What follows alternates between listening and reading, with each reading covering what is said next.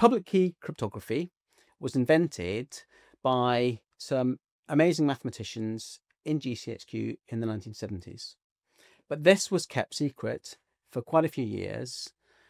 And separately, in the US, some researchers called Diffie and Hellman invented a similar sort of scheme. Mm. Now, Diffie and Hellman were not working within government, and so they were able to publicize it.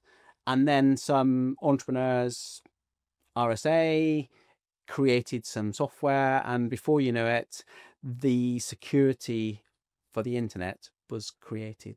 So the same mathematics was invented in GCHQ before this, right. but it was kept secret until the government then declassified it. So that's how we know about it today.